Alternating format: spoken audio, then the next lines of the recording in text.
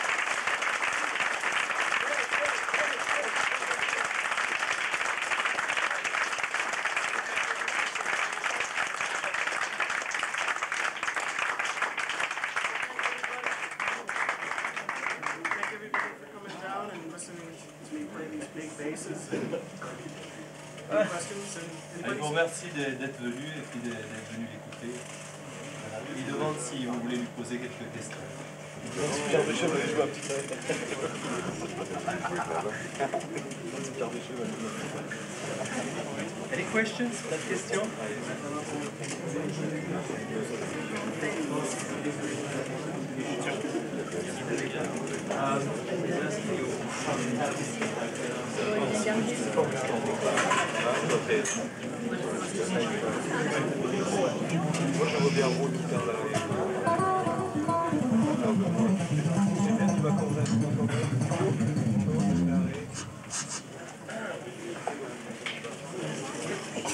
well, as I was saying, he was asking uh, how, how, how you got on with uh, Stanley Clark and uh, how it happened all uh, when. I was in this band called uh, Jazz Explosion, which um, it was a trio rhythm section with uh, with four different jazz artists. Each one would play a half an hour, and, and I was in the band, you know. And we would play behind each each artist, and and it just so happened that Stanley came on the gig, and, and, and he did the gig, and he was playing solo bass at the time, and and I was just in the band, so you know he, he came up and did about 20 minutes of solo bass, and, and then he asked the band to play with him, you know, and I said, well, okay, you're bass player, I'll sit this one out. So he says, no, you play too, you know, and, and it turns out that our styles are totally different, and you know, I'm I'm more into the accompaniment thing, you know, like when I play with a band, you know, and um, it turns out that it worked out great. It was great chemistry, you know. It was just by chance, pure, pure luck, you know. Il se trouve que finalement c'est une histoire de chance parce qu'il il, se- trouvait là et puis on lui a demandé de venir jouer puis et il a hésité un petit peu puis finalement il dit oui ça pose, posera pas de problème a, il y a qu'à venir puis finalement ça s'est très très bien passé il était très content et tout le monde tout le monde était satisfait. D'autres questions? C'est gênant la lumière là.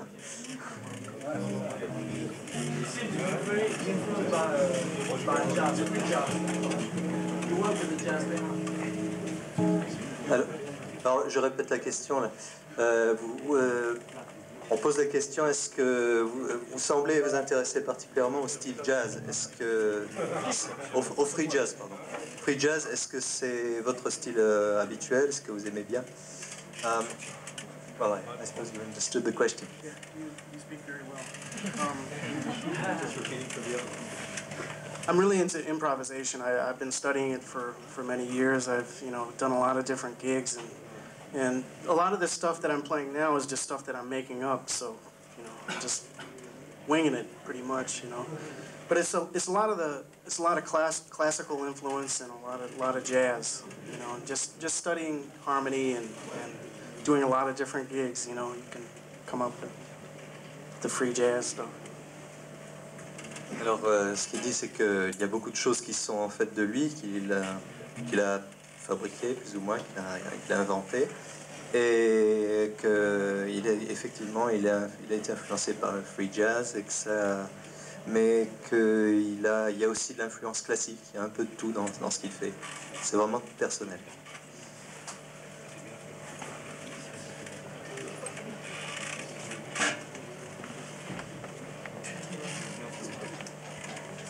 C'est tout pour les questions Have you got a special, any special way of working? How many times a day do you work? How do you study? Uh, there's no real special way. It's, it's just, uh, you know, I'll practice a lot of scales. You know, I like to warm up, and and you know, I've I've studied with um, this one teacher in Boston who who also taught Mike Stern. You know, and I go through. I, I studied with with uh, with him for about a year, and I, I am still practicing that stuff. You know, so. That's pretty much what I practice now, but but there's no set schedule. You know, it's not like I, I practice like six hours a day religiously. It's just whenever I, you know, have the instrument in my hand, you know, and, and the amount of time that I have, you know, I'll, I'll, I'll practice. C'est en fonction du, temps qu'il a, le, temps de liberté qu'il a, il euh, s'entraîne quand il peut, mais en fait ce n'est pas un entraînement comme 6 heures par jour, par exemple, c'est pas un entraînement très très spécifique. Il a travaillé avec euh, son professeur pendant un an, et puis il continue à s'entraîner. Et il s'entraîne euh, de façon, dès qu'il a, dès qu'il a une minute, quand il le peut.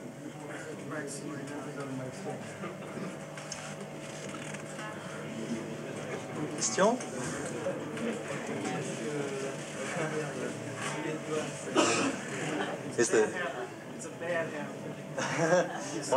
on, lui demande si cette, cette habitude de mouiller le doigt, c'est une, habitude particulière. Euh, Il dit Oh non, c'est une mauvaise habitude.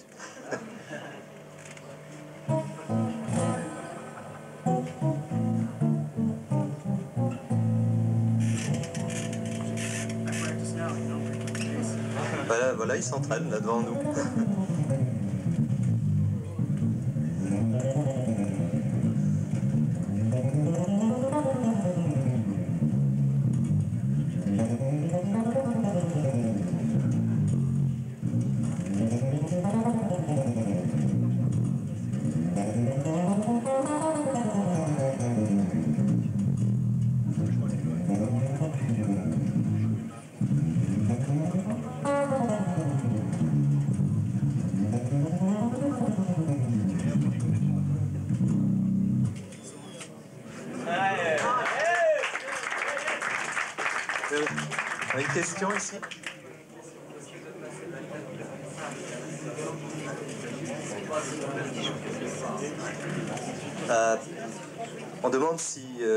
passer de la 4 à la 5 et à la 6 cordes, ça ne pose pas de problème au départ.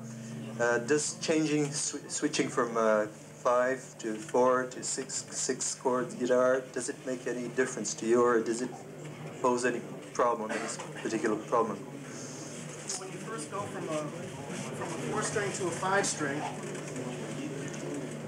myself I had to re- relearn the whole fingerboard.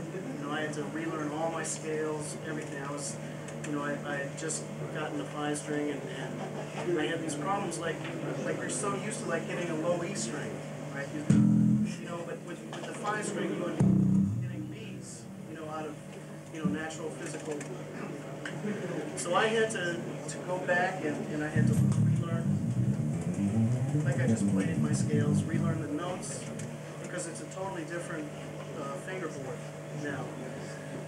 It, it was more difficult to go from a four string to a five string than it was from a five string to a six string. Like right now, I, I've been playing a six string for about uh, a little over a year now, and I'm still kind of wondering, okay, is this, what note is this? You know? because the, the C string is foreign. You know? So you do have to practice the instrument and, and relearn fingerboard very much. But it was harder to go from four to five string. Mais alors, euh, ce qu'il dit en gros, c'est que pour passer de la 4 cordes à la 5 cordes, ça lui a pas posé de gros problèmes. Mais par contre, pour passer de la 5 cordes à la 6, alors là, il y a eu de gros problèmes parce qu'il y avait des changements carrément, des changements de tonalité, changements de notes. C'est-à-dire, par exemple, euh, il a fallu qu'il s'habitue au mi, hein, cette corde, ça, ça lui a posé des problèmes au départ. Et maintenant, bon, il l'a en main. Euh, il a dit tellement de choses que là, j'ai un peu perdu le fil, mais je crois que c'est en gros ce qu'il a dit.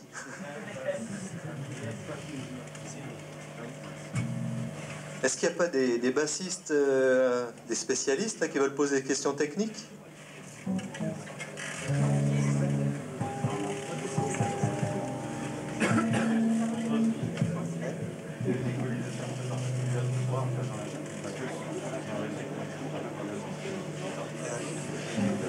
Are you not sometimes... euh, ah oui, on pose la question, je répète la question, euh, on pose la question de savoir si le souffle gêne- ne gêne pas, parce que la synchronisation, euh, l'am- l'amplification plutôt est, est un peu particulière et crée un souffle assez fort. Uh, are you not a little uh, worried about the, the, the noise makes the, the machine makes, you know, the, the woof? Uh, does it not worry you at all? Yes.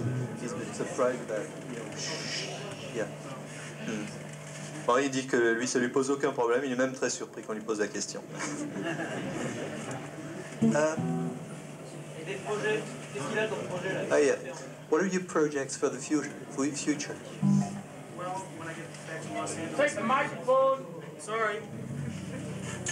When I get back to Los Angeles, I, I have an audition with uh, Larry Carlton, so maybe I'll join his band. You know, I like to do, you know, record all this stuff that I've been playing for you tonight. But, um, I'm gonna take a vacation too. I think. Is it about a tour, Larry Carlton? Is it about a tour? Yeah. On a Yeah. Yeah, he's, he's back in the saddle. A world tour?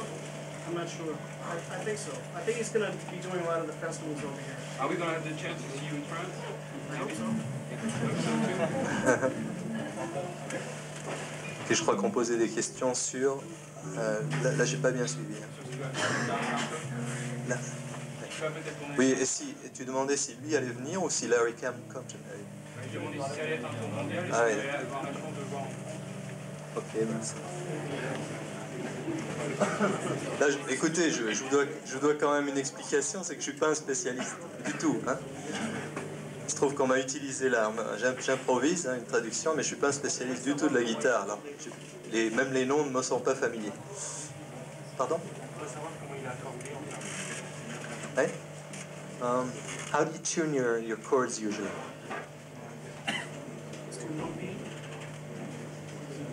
E, A, D, G, and C. It's it's tuned in fourths. So, the center strings are the, are the, the normal electric bass strings. E.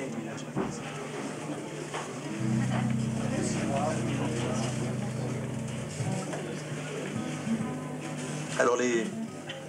Alors là, il y, a il y a une question un peu technique. Et c'est que c'est donc accordé Si, mi, la, ré, sol, do. Mi, la, ré, sol, do, oui. Si, ra, mi, la, ré, sol, do.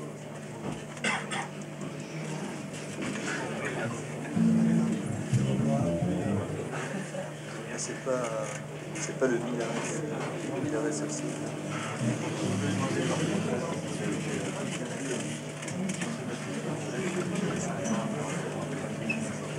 Ah, la question qu'on pose est si quels sont les bassistes qui l'ont influencé les bassistes, ses bassistes préférés?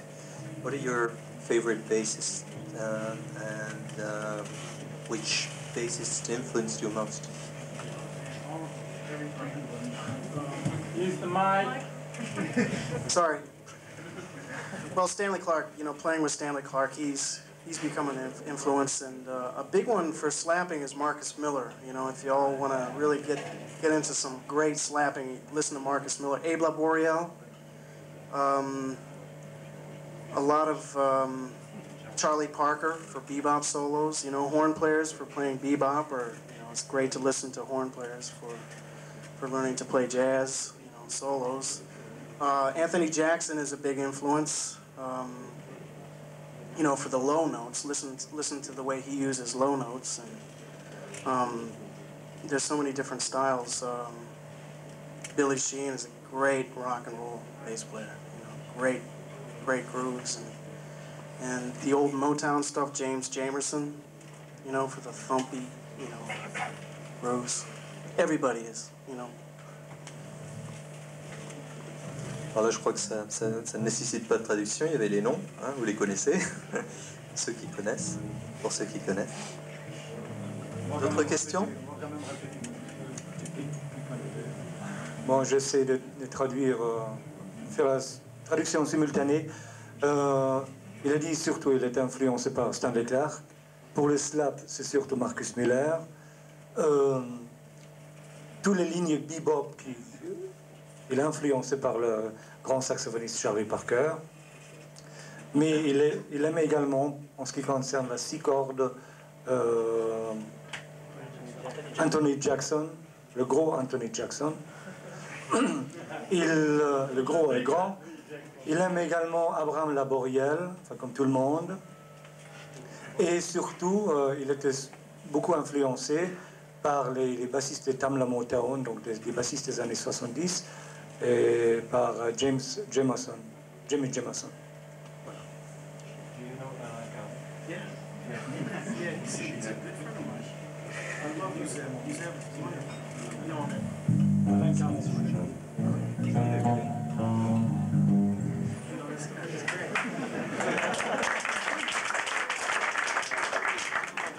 Euh, une petite anecdote, euh, ils ont fait des études ensemble à Boston, à Berkeley, avec Alain Caron. C'est des grands amis. euh, et se sont rencontrés euh, après une longue absence euh, au Salon de Francfort au mois de janvier. C'était assez... euh, très sympa, très sympa. Ils avaient le même professeur que le guitariste Mike Stern. Mais en ce qui me concerne, en tant que non spécialiste, j'étais vraiment impressionné par la vitesse. hein. À la vitesse de, de défilement, c'est fantastique.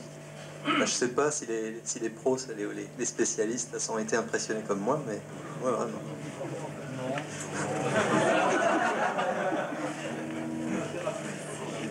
I was saying that we were very impressed by the speed. Uh, Tout est question d'entraînement.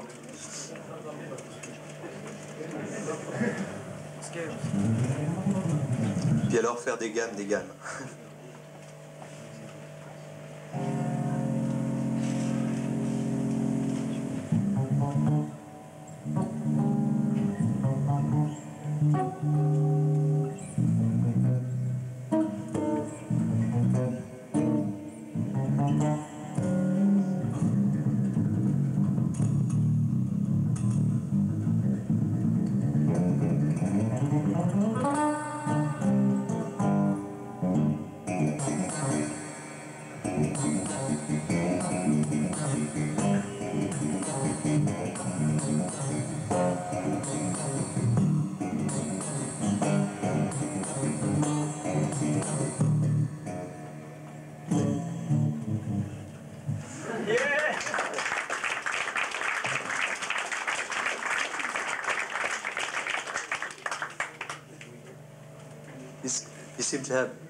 Pleasure playing a lot. You're, really happy doing it. Yeah. Je lui ai dit, vous avez, vous avez l'air de, de prendre beaucoup de plaisir ce que vous faites. Et il dit, oui, oui, un- je prends mon pied. en plus,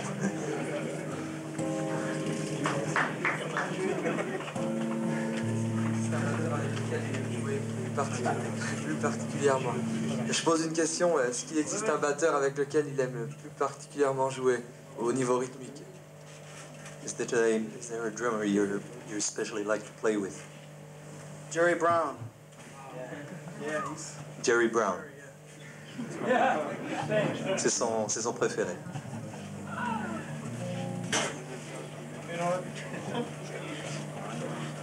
Et profitez-en, là, on, on a un pro. Hein. Posez-lui des questions. C'est maintenant ou jamais.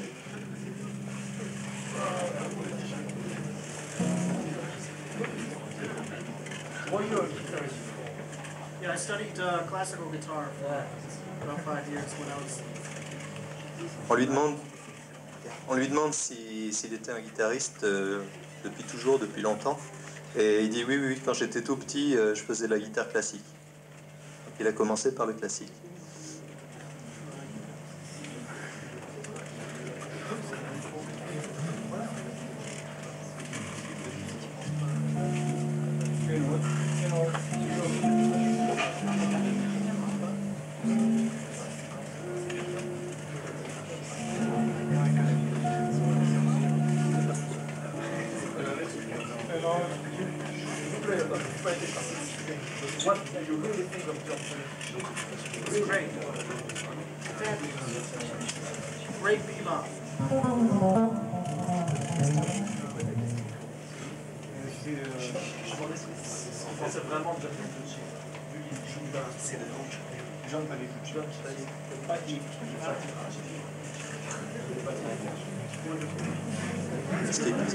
Ce qu'il pense de John Pareducci, c'est ça?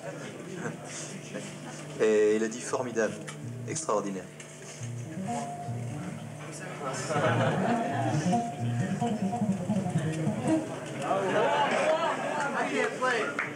Euh, ça va trop vite pour lui.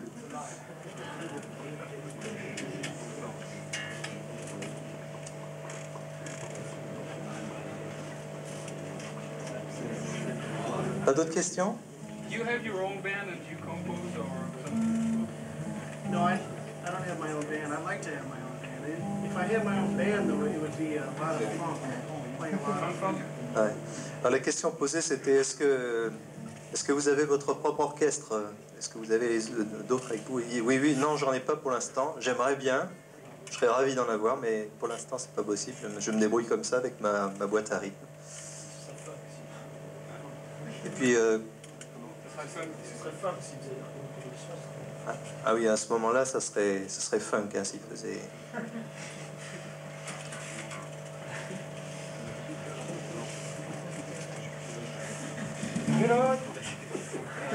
qu'il enseigne dans une école. Est-ce qu'il, euh, You teach in a school.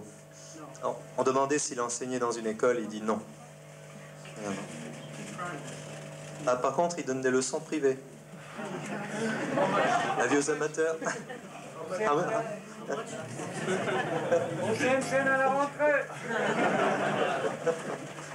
J'ai- I didn't get. C'était quoi? Je- Il veut savoir. si- Oh yeah, you're welcome to CNCN at the. uh,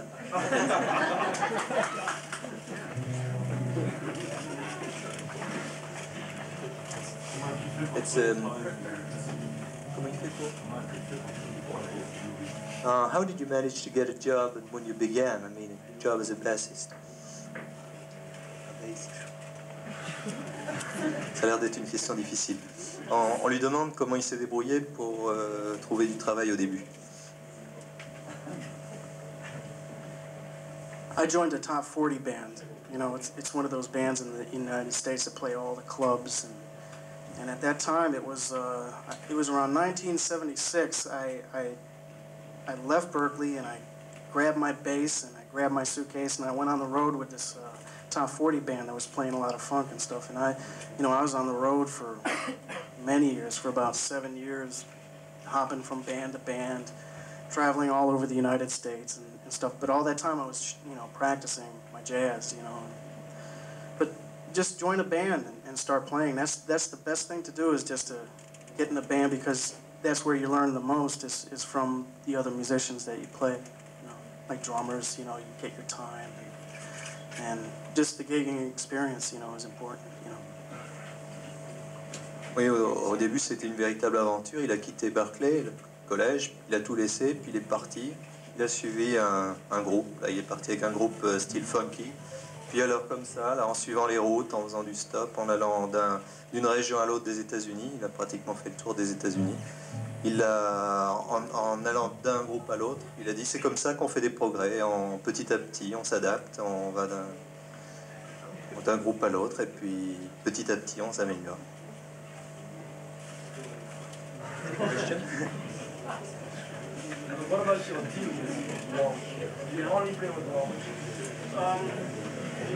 On demande s'il si, si, joue seulement avec Warwick.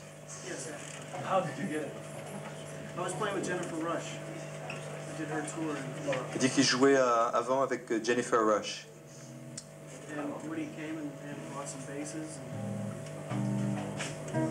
Quand il est venu et qu'il a, il a apporté quelques, quelques guitares basses, euh, ben ici, il en a profité, puis il s'y est mis.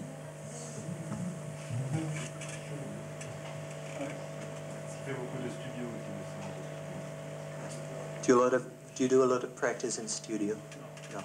Non, euh, on demande s'il fait du, du- du travail en studio. euh, il aimerait bien, mais, mais non. For people.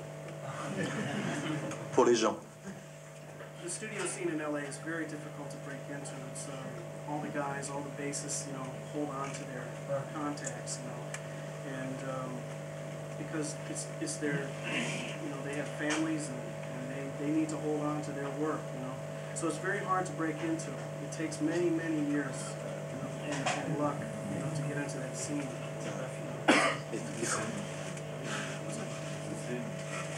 Everywhere, New York City.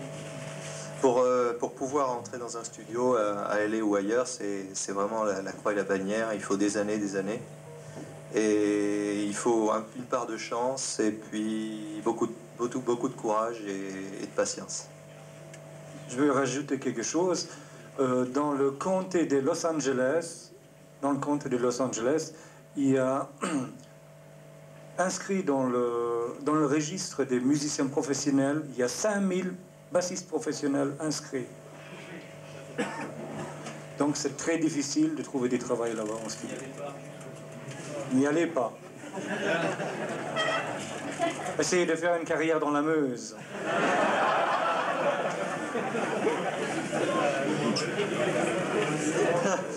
He, he says, well, he's, yeah. yeah, he says, don't don't go over there because uh, it's easier to, to make to have success over here in one of the distant uh, regions. Yeah. Do you think? Do I sing? Yeah. On lui demande s'il s'il chante et il dit non, je ne sais pas chanter.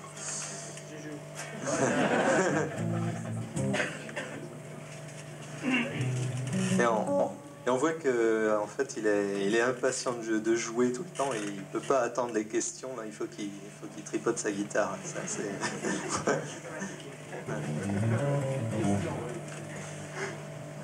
Ça fait longtemps qu'il joue de la trackless ou c'est un instrument qu'il a découvert la, basse trackless. Oui, la basse sans arrêt. Que depuis, euh, euh, moins long- moins longtemps que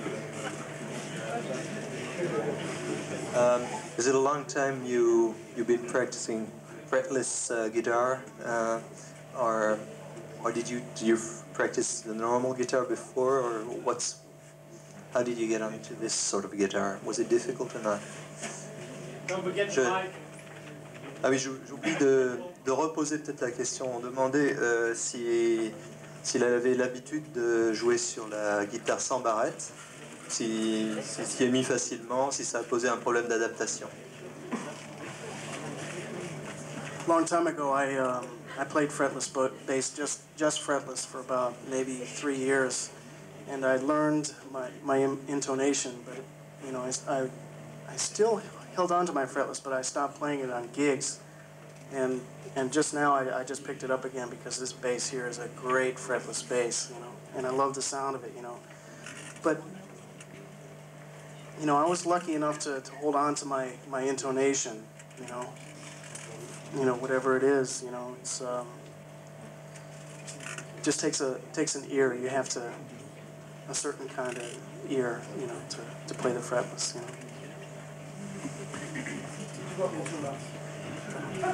Oui, alors, la, la réponse à la question, il dit euh, non, ça n'a pas posé de gros problèmes. Il a, il, a, il a trouvé que cette guitare ici, c'était une guitare bien excellente, une excellente guitare, et que ça, il a eu beaucoup de plaisir à, jouer avec. Et en fait, euh, non, c'est une question d'intonation, problème de changement d'intonation. Alors, ouais, moi je sais pas comment. ouais. Musique. Yeah. Ouais. Ouais. Alors, il dit que bon, il, il comprend bien que les gens n'ont pas forcément une question en tête comme ça là maintenant, et que si vous avez envie un peu plus tard de, de lui poser des questions, il, il le fera volontiers parce que il sera dans, il sera dans le coin, il a dit. Alors, je crois qu'il y a une question là-bas. Oui, je voudrais savoir ce qu'il a pensé de sa première partie. Um, what did you think of your first part? Your first part. I don't know really what it means. Qu'est-ce que vous- qu'est-ce que tu entends par la première partie? Oh. The uh, what did you think of the first two uh, uh, musicians who were playing? The bass? Pascal. Ah. Bon, très modestement, il dit ils, ils sont, ils sont fantastiques, euh, merveilleux, et qu'il avait même peur de monter sur scène après eux.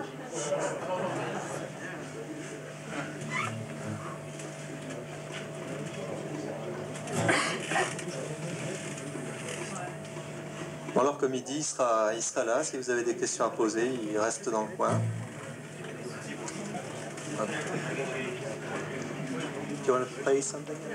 Alors, il va nous, il va nous jouer encore un petit quelque chose.